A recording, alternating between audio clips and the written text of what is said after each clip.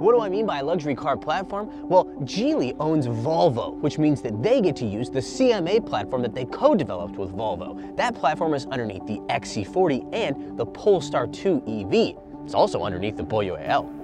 And the best part is, there's no catch. I'm kidding, there's a big catch. You might get a luxury car power plant and a luxury car platform at this price, but you're not gonna get a luxury car interior. Sure, there's some big screens, 10.25 inches and 13.2 inches, and it's got a Qualcomm Snapdragon processor, uh, but material quality, well,